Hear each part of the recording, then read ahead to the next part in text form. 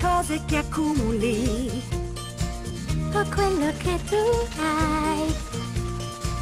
è quello che tu hai seminato già e che poi raccoglie